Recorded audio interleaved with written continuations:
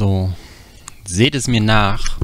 Erstmal herzlich willkommen zu dem Video. Ich muss leider ein kleines Vorwort äh, haben, weil ich bei eigentlich jetzt ein Reaction 2 Video habe, aber bei der Aufnahme ist mir ein Fauxpas passiert und zwar ich ähm, habe leider das den Sound über mein Mikrofon quasi nochmal als kleinen Echo reingekriegt. Ich habe jetzt soweit äh, im Post, in der Post-Production dann halt geguckt, ja, wie kann ich da, wie kriege ich das da weg und so weiter. Es ist mir, es ist ein bisschen, es ist gelungen, mehr oder weniger, es ist immer noch ein Hall da, also ihr werdet auf jeden Fall einen Unterschied äh, zu seinem Video, sein, zu seinem Originalvideo sehen. Ähm, ich äh, hab's versucht zu reduzieren, aber man so ein Reaction-to-Video lebt ja davon, dass man die Aktion direkt live sieht und das kriege ich nicht nochmal hin. Also diese Überraschung, dieses Lachen oder das, das, das schafft man einfach nicht. Und deswegen äh, verzeiht mir das und ich wünsche wünsch euch jetzt viel Spaß mit dem Video. So, herzlich willkommen. Ich habe bisher noch nie ein Reaction-to-Video gemacht oder Reaktion zu. Aber als ich das Video gesehen habe, ich mir gedacht, ach du Alarm. Ich habe es noch nicht gesehen.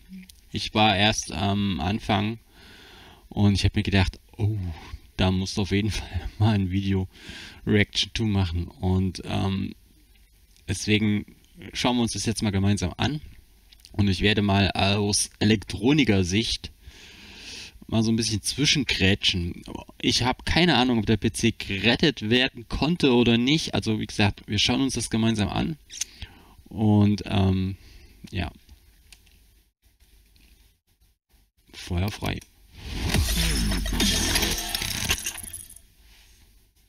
Hallo zusammen und herzlich willkommen zu einem weiteren Video. Heute aus der Waschbox. Ja, ich hoffe, das geht akustisch, weil neben uns werden ja auch Autos gewaschen. Denn wir haben hier einen wunderschönen PC der war mir wunderschön. Denn Matthias aus Ahrweiler hat mich kontaktiert. Ahrweiler wird vielen von euch wahrscheinlich jetzt was sagen mittlerweile. Ahrweiler ist das Gebiet, das von der Flut mit den krassen Hochwassern im Westen von Deutschland äh, betroffen war. Und er hat mich eben über Instagram kontaktiert und mich gebeten, ob ich ihm irgendwie noch helfen kann. Also er hat mir dann ein Video von seinem PC geschickt, vielleicht können wir das hier mal kurz einblenden.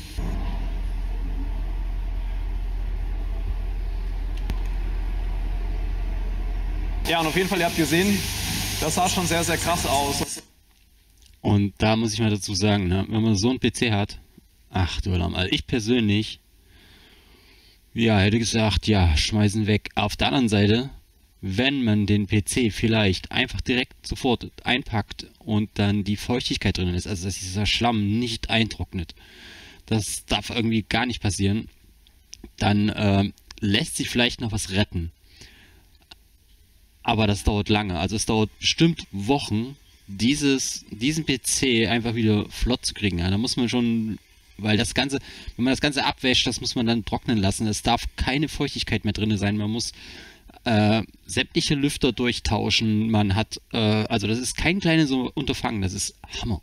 Und ich habe natürlich keinen Bock, mich irgendwie an dieser ganzen ähm, Situation zu bereichern. Also das ist absolut nicht meine Intention, aber wenn ich jemandem helfen kann, dann mache ich das natürlich absolut gerne. Und ähm, ja, alle Einnahmen von diesem Video gehen an Apex Nürburg. Das sagt vielleicht einigen von euch was. Wir haben für Misha von Apex haben wir schon mal einen PC gebaut und die supporten gerade die ganze Gegend da rund um Ahrweiler extrem, also in dem Ahrtal. Und ähm, ja, wir versuchen jetzt mal, was wir bei diesem PC noch retten können. Deswegen sind wir auch in einer Waschbox, weil so wie der PC aussah, kann ich das nicht einfach in meiner Wohnung, keine Ahnung, waschen. Irgendwie, ich bin, keine Ahnung, wir werden sehen, was wir daraus machen können. Ähm, deswegen jetzt erstmal versuchen, das irgendwie ein bisschen sauber zu bekommen. So, wir machen den jetzt erstmal hier auf.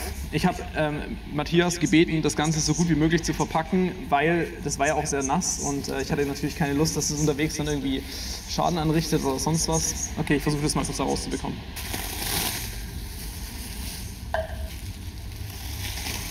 Das sieht auf jeden Fall schon mal sehr vielversprechend aus. So, wir haben jetzt mal Handschuhe noch angezogen weil ich jetzt schon gemerkt habe, dass es da teilweise ein bisschen feucht wird und äh, ich natürlich nicht weiß, was da alles mit drin steckt. Ja, das sieht schon mal. Jetzt wisst ihr, warum ich das in meiner Wohnung nicht ausgepackt habe. Ja, es kommt so ein bisschen nicht der beste Geruch entgegen. Ähm, okay, mal schauen, wie es Ding komplett ausgepackt aussieht. So. Also ich habe schon echt viel gesehen. Aber sowas wünscht man wirklich keinem. Aber ich muss echt sagen, Kompliment an Matthias für Verpacken. Äh, ich habe schon PCs gesehen, die waren im perfekten Zustand und da hat sich keiner drum gekümmert, die gut zu verpacken.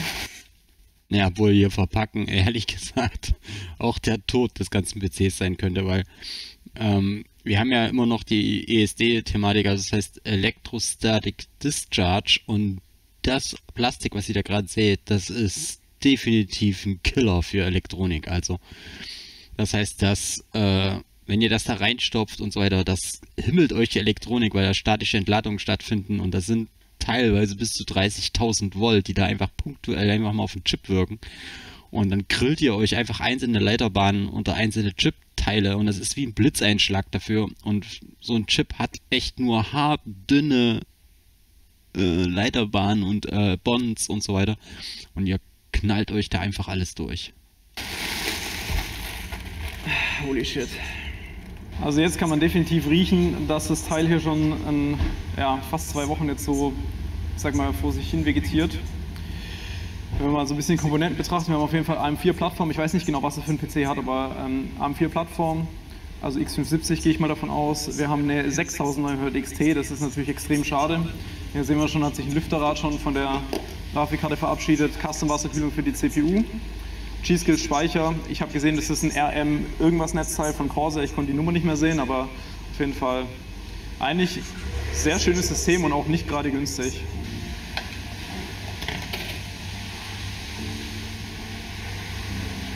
Klar spülen mit Hochdrucklanze. Oder? Und bei dem Knopfdruck war mir klar, da musst du Reaction 2 Video machen, weil das geht gar nicht. Das geht mal gar nicht, Hochdrucklanze. Das ist so mein erster Gedanke. Ich meine, Alter, wenn du, da musst du weit weggehen eigentlich von dem Gerät und darfst nicht direkt reinhalten, weil du hast so kleine Bauteile da drauf und die reißt du doch einfach vom Motherboard runter. Und das sind teilweise wirklich kleine Bauteile, wo man sagen könnte, die könntest du wie Koks schniffen. Also das, das, das, das da, da habe ich mir gedacht, oh no.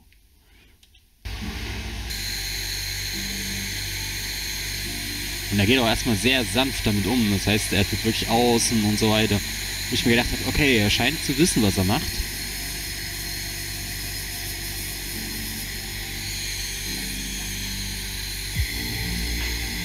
Hier bleibt er noch ein bisschen fern.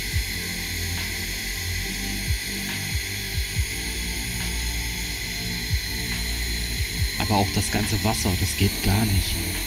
Ich will natürlich nicht dass da Komponenten beschädigt werden, wenn ich das jetzt hier so mache, aber anderen Weg ist mir jetzt auch nicht eingefallen. Und das geht nicht. Alter. Und da habe ich mir gedacht, der himmelt alles da drin. Allein schon der, diese Maßnahme himmelt vieles. Eigentlich hilft nur Zeit dabei. Wasser und Zeit.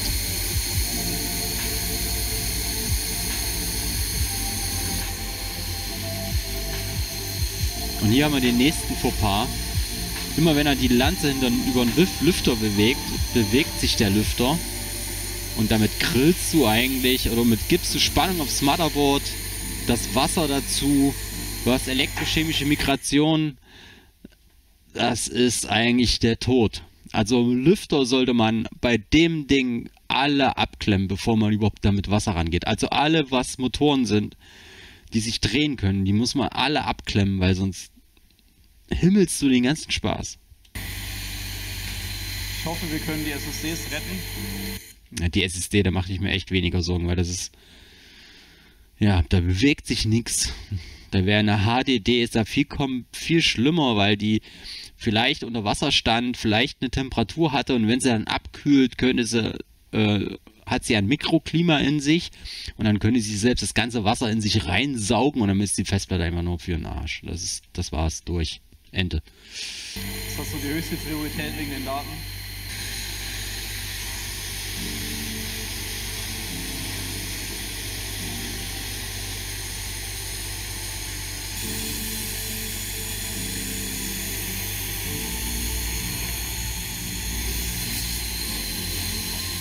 Aber es tut schon weh beim Zugucken.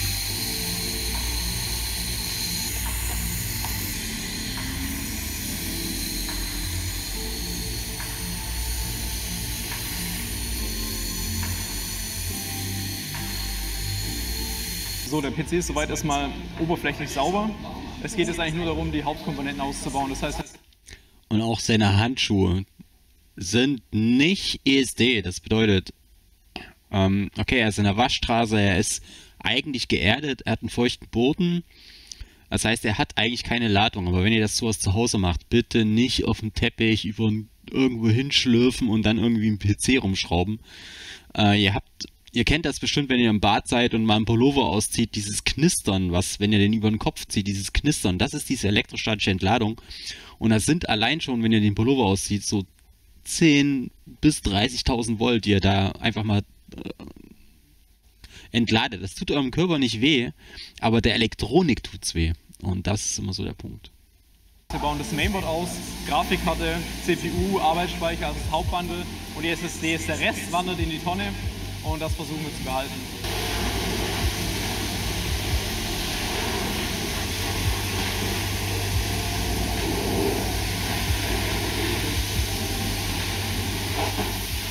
Ja, das war mal eine 6900 XT.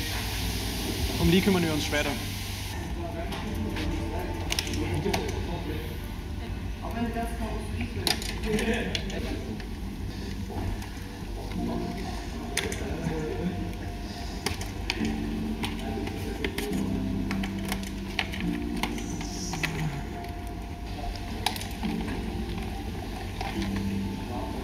hoffentlich sind da noch alle Bauteile drauf.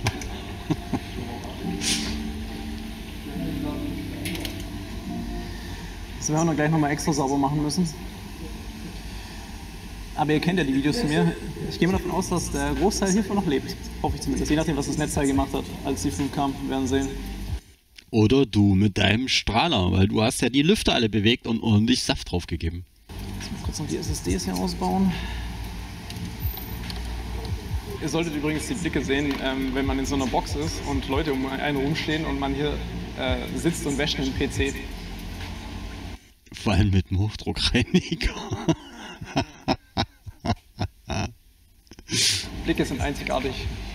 Das so, der PC ist soweit jetzt erstmal sauber, den werfen wir eh weg. Das heißt, der muss nur so sauber sein, dass mein ganzes Auto nicht einsaugt. Und jetzt machen wir oberflächlich noch einmal die Komponenten so ein bisschen sauber. Also ich habe auch noch eine HDD gefunden, die im PC war. Ähm, ich will jetzt nur den gröbsten Dreck nochmal abspülen kurz und äh, dann nehmen wir das Ganze mit. Und ab dem Moment war mir klar, hier muss ein Reaction 2 Video machen. Also bis dahin hatte ich es geschaut. Was der hier mit dem Lüftern macht, absoluter Overkill. Absoluter Overkill. Also ich, ich bin Elektroniker, aber ich betreue auch Maschinen und so weiter. Und wir haben auch Achssysteme, die auch, wenn wir die äh, quasi warten, dann werden die manuell bewegt. Das heißt, die Maschinen gehen, sind quasi in einer Art Notaus. Und dann kann man die Maschinen bewegen, fetten und so weiter. Und dann heißt es immer, mach das langsam und sachte, weil die Motorenansteuerung wird gehimmelt, wenn du da anfängst und ruckartig irgendwas machst und er hält voll die Grafikkartenlüfter da rein und er geht mit einem Hochdruckreiniger dran. Die Dinger gehen ab wie eine Turbine und die werden, die generieren alle Strom. Und das himmelt dir die Grafikkarte komplett durch. Also, oh, das, das, das hat mir richtig weh getan. Also richtig, richtig weh. Die Lüfter festhalten, wenn ihr sowas macht. Das darf sich nicht bewegen. Also Spannung ist jetzt das Schlechteste, was wir brauchen und er generiert gerade Ne? Anders funktionieren die äh, Stromversorgungsanlagen in Kraftwerken auch nicht. Die werden auch alle gedreht und dann generieren die alle Strom. Und ja, und er macht gerade, also aus meinen Augen ist das alles kaputt, aber ich weiß es natürlich nicht.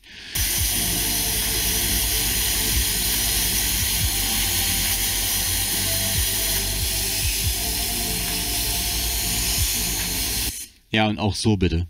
Also die Lüfter bitte, bitte, bitte, bitte festhalten.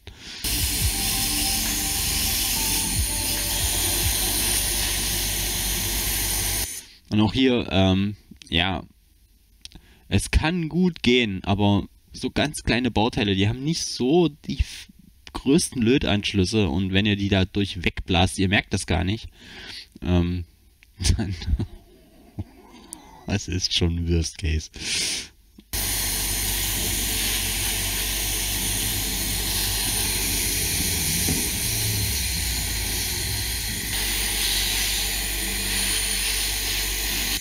Ja, sowas ist dann eher unproblematisch, außer es sind irgendwelche aufgeklebten, ähm, ähm, ich sag mal, Wärmeleit-Sachen, wo ihr noch irgendwelche Heat-Sachen habt, dann würde ich die auf jeden Fall auch durchtauschen.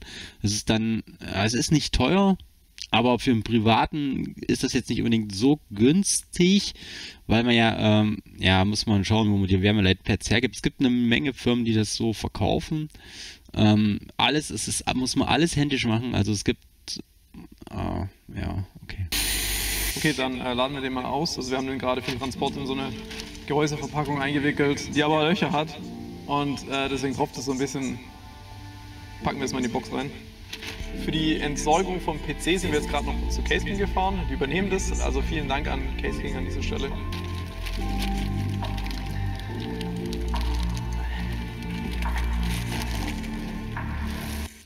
Aber das Gehäuse, warum hätte, schmeißt er das Gehäuse weg? Das verstehe ich nicht. Gerade das Gehäuse ist eigentlich das Unkritischste an dem Ding. Ich meine, da sind nur Kabel, das ist ein bisschen Blech. Äh, da ist nichts gerostet oder so, dann schmeißt man die Lüfter raus, guckt sich die Kabelsachen an. Warum ist das nur das Case wegwerfen? Die sind ja meistens auch nicht unbedingt so günstig.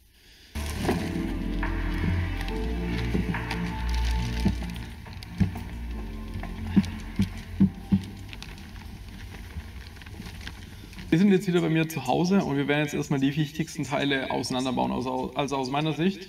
Ähm, ja, ich wollte eigentlich das Gehäuse hier wegräumen, weil ich äh, gestern Abend das 7000D Video für Corsa gemacht habe, aber Stieg hat gesagt, nö, das ist jetzt mein Schlafplatz, ich chill jetzt hier oben. Dann dachte ich mir, okay, alles klar, dann, dann chillt Stieg da oben jetzt eben. Ist er nicht so wild. Auf jeden Fall, wir bauen jetzt erstmal kurz die SSDs auseinander. Die SSDs raus, also da sind M2 SSDs drin, soweit ich das gesehen habe, in dem Mainboard und versuchen die zu trocknen, weil da müsste ja auch noch, ich weiß nicht, was reingelaufen ist, das werden wir gleich sehen. Aber normalerweise bei solchen Sachen, wenn man die ordentlich trocknet, sauber macht und so weiter, dann lässt sich da hoffentlich was retten. Wir sind doch fast eingeschlafen und runtergefallen, also nochmal ordentlich hinlegen. Alles klar. Den ganzen Umbau, alles was wir jetzt machen werden, machen wir natürlich mit unserem guten iFixit-Werkzeug. Wir haben hier wieder das Moray-Set. Ähm, ist auch sehr, sehr günstig. Link findet ihr auf jeden Fall unten in der Beschreibung. Und da, auch bei diesem kleinen Set, ist auch schon alles dabei, was man so braucht, wenn man so einen PC jetzt auseinanderbaut oder retten möchte. Wie zum Beispiel bei der SSD. Da haben wir eben an der Seite extrem kleine Kreuzschlitze, die wir verwenden müssen. Oder dann, wenn wir eben so einen CPU-Kühler abbauen, da brauchen wir große. Mein Tipp, kauft, was ihr braucht.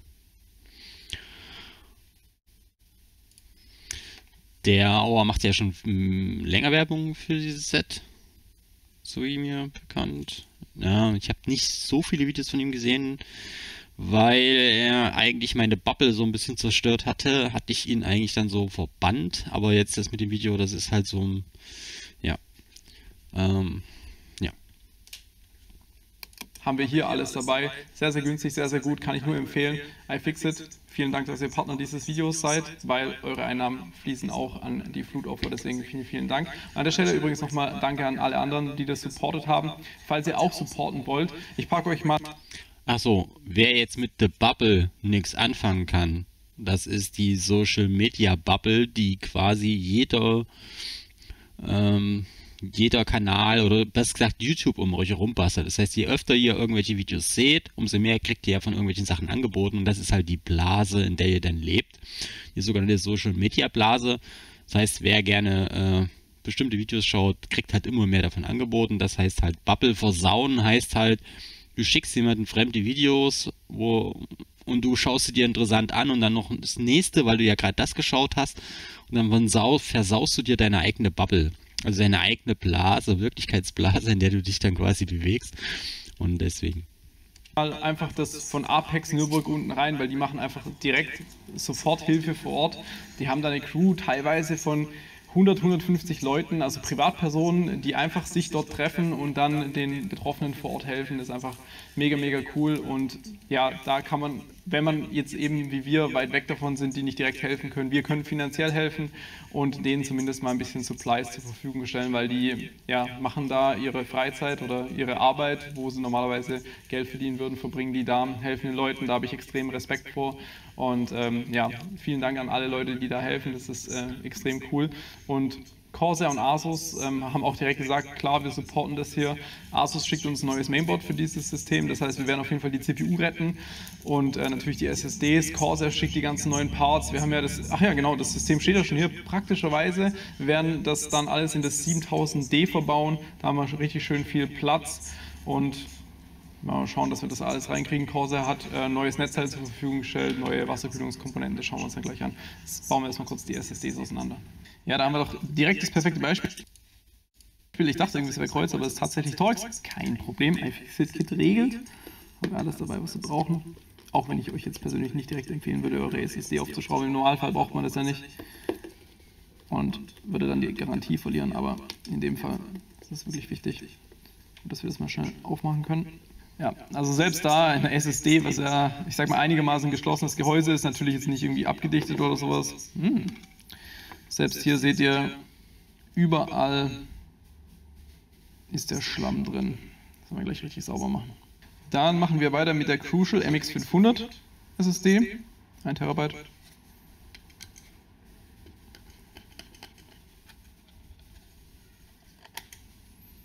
Hm. Ja, gleiches Bild. Machen wir jetzt mit dem Mainboard weiter. CPU kümmern wir uns später drum. Wir machen jetzt erstmal die SSDs. Wenn ich das richtig sehe, hat er auch hier zwei M2 SSDs verbaut.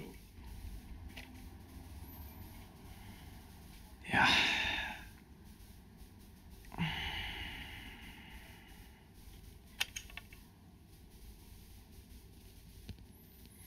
Also die sieht bisher am besten aus. Das ist noch eine Western Digital Blue. Ein Terabyte sieht ein bisschen gebogen aus, aber das kann auch einfach mit der Zeit so kommen. Das ist auch meistens nicht so wild, aber sieht noch ganz brauchbar aus.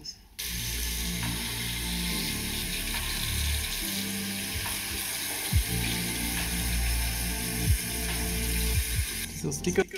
Das wäre jetzt aus Elektroniker-Sicht auch mal so die meine Favorite, favorisierte Version gewesen, wie man das sauber macht, indem man einfach das unterfließendes Wasser hält und nicht mit dem Kercher drüber geht. Aber na gut. Ja, die Garantie gehen somit leider erstmal flöten, aber wir müssen halt runterkommen.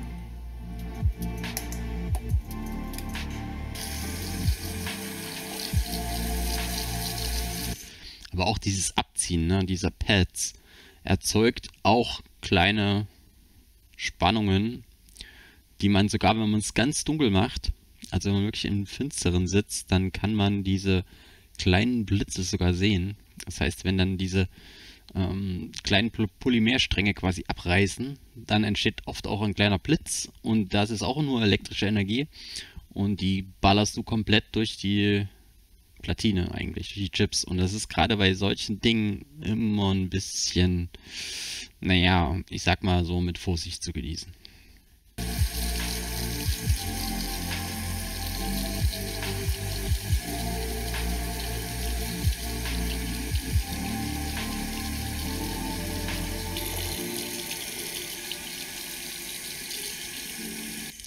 Das Wasser per se macht jetzt erstmal wenig. Aber, ähm, was eigentlich jetzt hier passiert, er wäscht alles, aber wir haben auch eine Menge BGA-Chips drauf, also Bulk Arrays. Bulk Arrays sind halt Chips, die ähm, haben unten drunter Bälle, die sind in einem Gitter angeordnet. Also stellt euch einfach vor 16 x 16 Bälle unter einem Chip und die sind auf die Platine gelötet und da sammelt sich jetzt auch das Wasser. Und wenn ja, das kriegt muss man dann äh, trocknen lassen, also wirklich lange trocknen lassen. Das heißt, es muss raus verdunsten.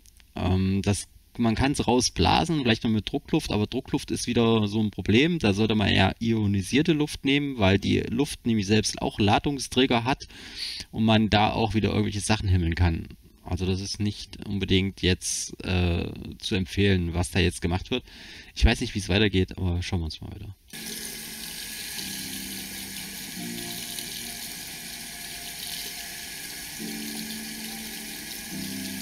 Unser Reinigungsprozess ist ansonsten jetzt äh, sehr ähnlich zu der verbrannten Grafikkarte, die wir vor kurzem hatten. Okay, bei der Western Digital muss ich den Sticker zum Glück nicht abziehen, da sind keine Komponenten drunter. Äh, wir werden jetzt erstmal einmal mit Wasser und Spüli einfach nochmal die Grundreinigung machen, dann richtig trocknen und dann nochmal so mit Waschbenzin einfach drüber, um noch Rückstände abzulösen, dann wieder trocknen und dann sollte das eigentlich Waschbenzin. Also ich würde ja Isopropanol, also Isoprop, Isopropylalkohol wird es auch genannt, würde ich ja eher äh, bevorzugen als Benzin. Da sind immer noch ölige Rückstände drin. Naja gut. Passend.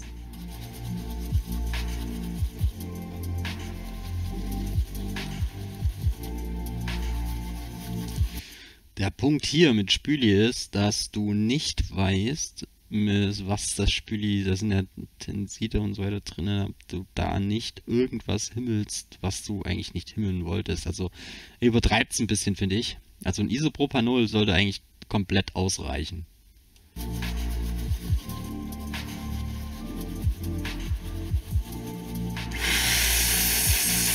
Und das meine ich. Also er hat, nutzt einfach nur Druckluft. Und diese Druckluft ist statisch aufgeladen. Allein, ja, also normalerweise benutzt man ionisierte Luft bei sowas. Das äh, ionisierte Luft, äh, da sind die Ladungsträger entzogen. Und das ist der bessere Weg, ganz ehrlich. Aber so ein Ionisator, weiß ich nicht, ob man da mit 200 Euro auskommt.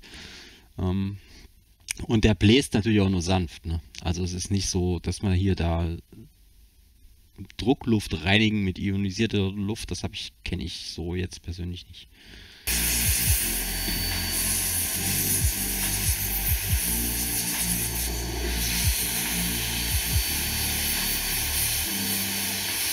Aber prinzipiell kriegt man so schnell am schnellsten die Feuchtigkeit raus, ne? weil da sieht, man sieht hier die BGA-Chips, man sieht, die haben seitlich gar keine Anschlüsse, die sind Anschlüsse sind alle unter dem Bauteil und entweder lässt man die Bauteile echt ewig stehen, am besten im Senkrechten und äh, bloß keine Spannung drauf geben, nicht in Geräte einbauen, bis das dann trocken ist und ja gut, das ist hier so der Weg, den man nicht einschlagen sollte. Also wir sind jetzt soweit durch mit dem SSD-Reinigen, haben das einfach nur einmal mit dem Spül gemacht. Ich glaube, das mit dem Waschbenzin ist gar nicht notwendig. Also können wir uns das ja mal kurz anschauen. Eine sehr gute Idee. Aber es sieht soweit echt sehr, sehr gut aus. Auch keine große Korrosion irgendwo an den Kontakten. Hier ein bisschen, aber ist echt noch okay. Wird auf jeden Fall so sein, dass kontaktmäßig sollte das passen. Wir lassen das jetzt über Nacht auf jeden Fall trocknen. Das Einzige, wo ich mir echt unschlüssig bin, ist die HDD. Die haben wir jetzt nicht aufgemacht natürlich, weil wenn wir die aufmachen, dann ist Game Over. Wir haben die jetzt auch nicht weiter gereinigt, weil ich das auch nicht weiß. Normalerweise, ich vermute mal, dass dieses Loch hier auch so irgendwie druckausgleichsmäßig irgendwie ist und ich kann mir gut vorstellen, dass dadurch die ganze Suppe gezogen wurde. Ist, wenn die gelaufen ist und warm im Inneren war und abgekühlt ist, dann hat die Wasser gezogen. Ja, dass wir da irgendwas machen, dass wir da nur mehr Schaden anrichten. Falls da irgendjemand einen Tipp hat, wie wir mit der HDD umgehen sollen, dann lasst uns das ähm, sehr, sehr gerne wissen. Der Tipp ist, gib sie in ein professionelles Datenrettungslabor. Was machen die? Die schrauben die auf. Die nehmen jede einzelne Platte raus und dann kopieren die die Daten, also die bauen wirklich alles auseinander. Die nehmen wirklich ähm, die Platte auseinander, nehmen die einzelnen Datenscheiben und kopieren die eins zu eins auf eine andere Platte. Das klingt jetzt erstmal blöd, das kostet auch. Also ich habe da aber auch mal eine Datenrettung gemacht. Es, waren, es ist schon eine lange Zeit her. Ich hatte da CRC32-Fehler auf der Festplatte, habe nicht reagiert und meine ganzen Softwareentwicklungsprojekte waren da drauf und äh, die Festplatte war komplett wichtig. Dann ist sie komplett abgeraucht und es ging gar nichts mehr. Und dann habe ich in ein Labor gegeben und das Labor hat für die Festplatte mal locker 500 Euro äh, veranschlagt, um eine 2 GB Festplatte zu retten. Und das war schon, das war schon eine Menge, Menge Geld. Aber ich habe es bezahlt und ähm, man nennt es Lehrgeld, aber Festplatten sind echt krass. Ein Tag weiter, wie ihr sehen könnt, die SSDs sind wieder komplett montiert zusammengebaut. Wir haben jetzt nur die SATA-SSDs dran, zu den M2-SSDs kommen wir gleich. Dafür werden wir das DIMM.2 verwenden, bietet sich einfach an, mal kurz die SSD zu wechseln, da muss man nämlich nicht diesen ganzen Kram hier Abdeckungen wie bei anderen Mainboards abbauen. Und es sieht schon mal sehr, sehr gut aus. Das sind seine beiden SSDs, einmal SSD, einmal Spiele.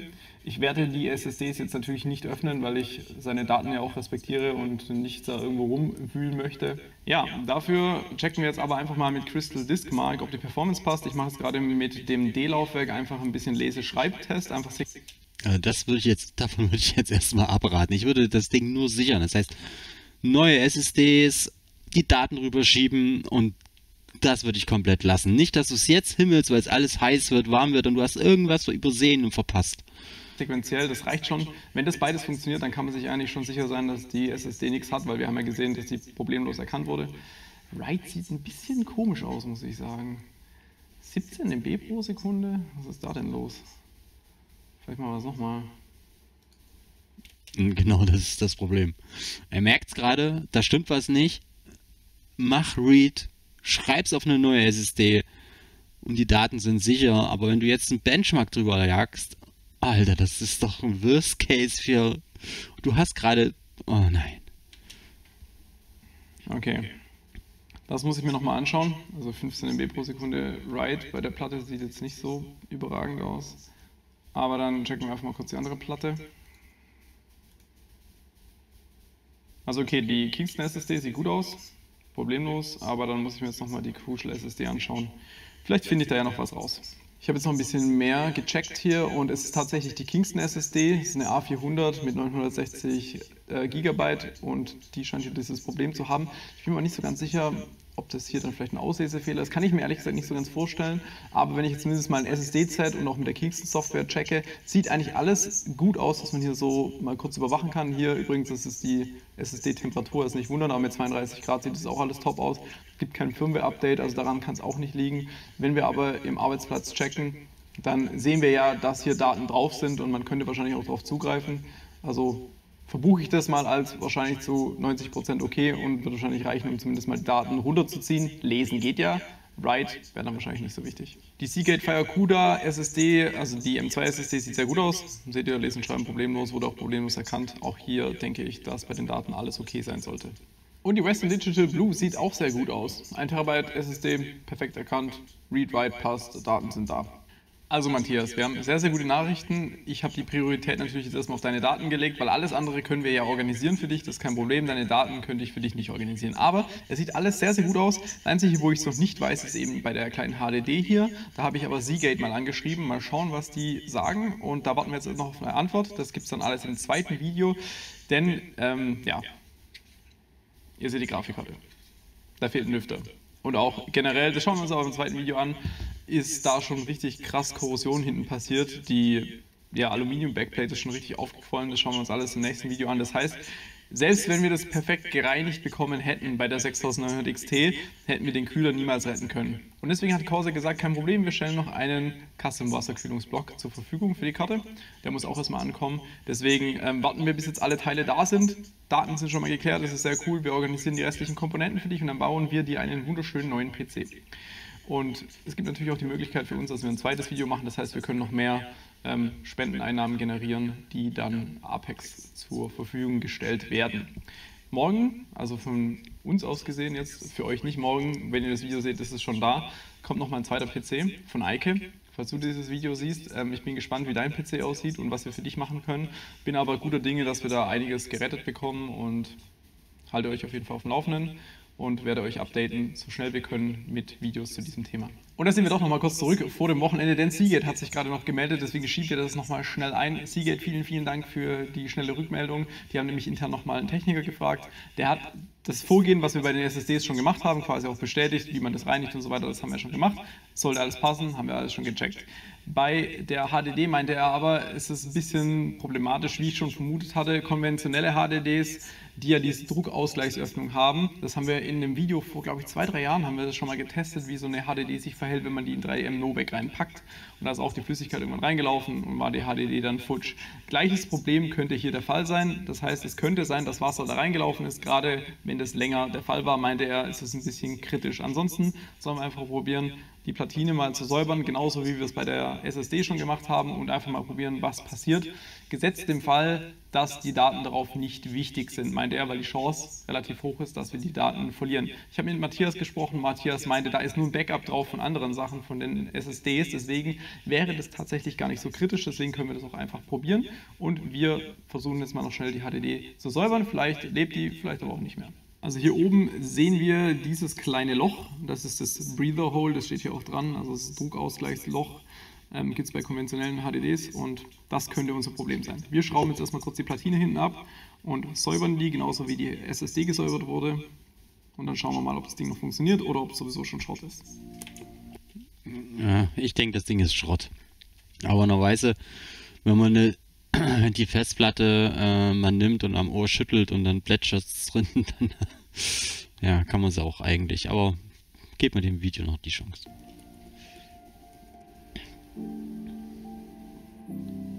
Dann sehen wir auch einiges an Dreck.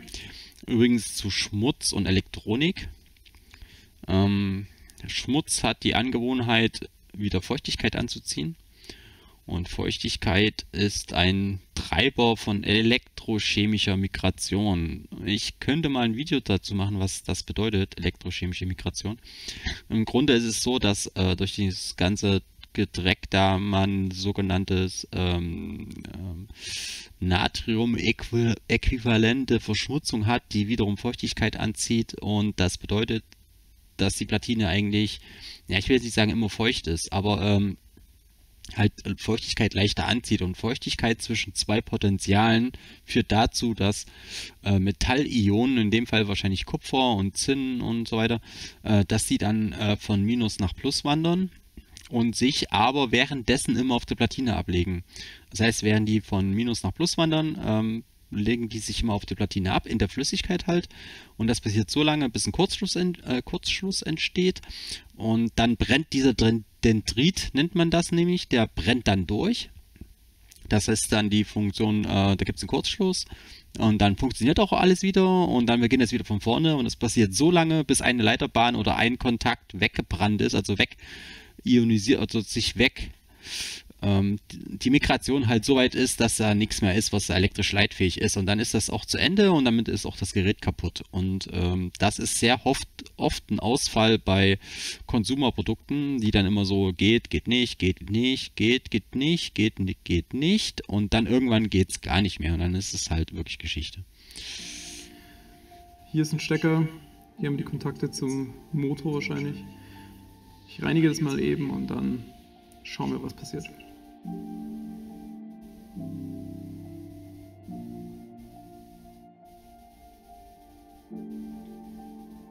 Ich glaube, dass er hier Waschbenzin verwendet. Ja.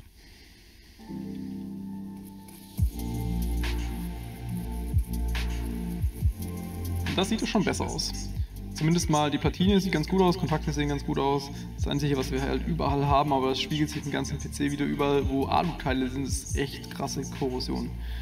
Ich baue es mal zusammen und dann schließen wir es an.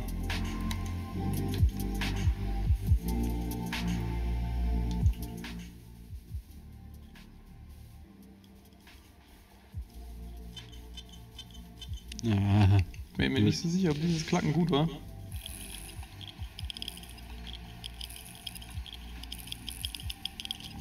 Ja. Das klingt schon scheiße. Aber, äh, what? Die HDD ist da.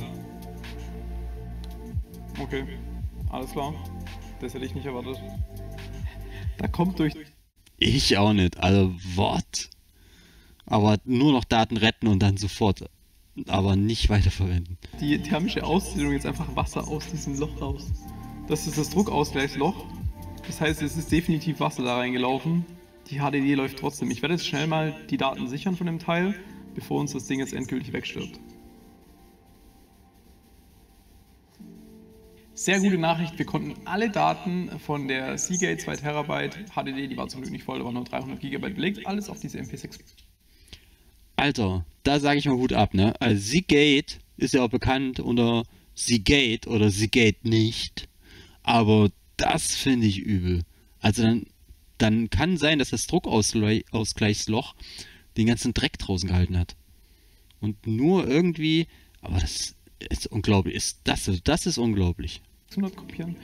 Interessanterweise hat man auch gesehen, wozu dieses Druckausgleichsventil, Membran, äh, Loch, was auch immer gut ist, denn es hat da einiges an Wasser rausgedrückt, einfach nur weil das Teil natürlich warm wurde. Und dann war es irgendwann so weit, dass dann sogar die Luft rauskam. Also denke ich mal, da ist so ein kleiner Kanal, der war vielleicht ein bisschen gefüllt mit Wasser und dann kam irgendwann die Luft raus. Ich bin gespannt. Wir machen das Teil mal schnell auf.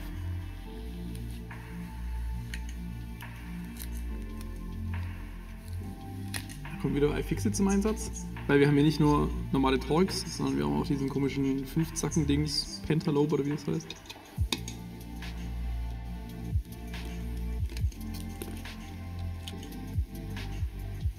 Ja, sauber, oder? Saubere Sache.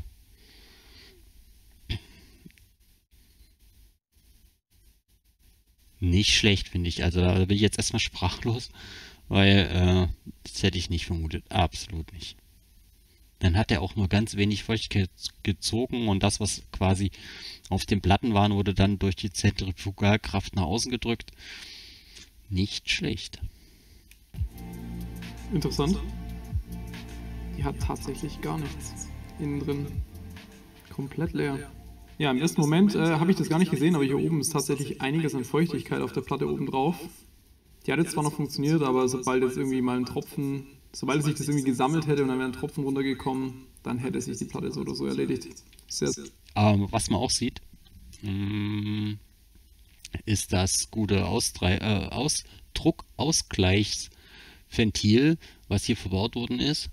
Und wahrscheinlich ähm, hier ist zwar Feuchtigkeit kondensiert, aber das meiste davon scheint wohl hier drin hängen geblieben zu sein. Und als die Platte warm wurde, hat sich das dann halt nach außen verflüchtigt. Ob das allerdings dann auch verschwindet, also was da hier so an Kondensation noch ist, das wage ich, weiß ich nicht. Kommt drauf an, also wenn sie waagerecht montiert ist, die Platte, dann tropft das eher nicht so schnell. Wenn sie aber senkrecht steht, dann läuft das alles zusammen und bildet einen Tropfen und dann himmelst du auch das. Weil sich das irgendwie gesammelt hätte und dann wäre ein Tropfen runtergekommen, dann hätte sich die Platte so oder so erledigt. Sehr, sehr happy, dass wir das retten konnten. Interessant, wie viel das alles aushält. Da sehen wir es aber. Also hier ist das Luftloch. Da sehen wir auch so ein bisschen Rückstände. Das ist wahrscheinlich wie so ein Filter oder sowas, dass da nichts reinkommt. Aber so konnte natürlich die Feuchtigkeit nach innen gelangen. Zum Glück kein Schmutz und nur Wasser. Das hat auf jeden Fall die Festplatte gerettet. Jetzt sind wir aber durch mit dem Video. Ich bedanke mich fürs Zuschauen. Wir sehen uns bald wieder. Seid gespannt, wie es weitergeht. Ciao, ciao. Also, ich muss mal sagen, geiles Video.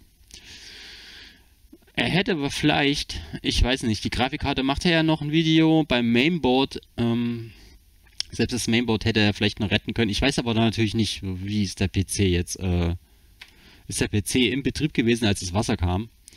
Da weiß man immer nicht so richtig, was ist denn da jetzt passiert, welche Kurzschüsse sind passiert und so weiter. Ähm, vielleicht ist auch das Haus vor dem PC ausgefallen, aber das abgefallene Lüfterrad von der Grafikkarte äh, könnte zeigen, dass das Ding voll in Betrieb war und auch gelaufen ist und dann irgendwie äh, irgendwas das Laufen gestoppt hat. Aber das weiß man natürlich nicht. Auf jeden Fall geiles Video. Ähm, wie gesagt, ich mache normalerweise keine Reaction 2 Videos und äh, ich möchte es jetzt dabei belassen. Äh, ich habe es jetzt als Elektroniker gesehen und mir hat's Herz geblutet, als ich Lüfter gedreht sehen habe. Ähm, ja, vielen Dank fürs Zuschauen.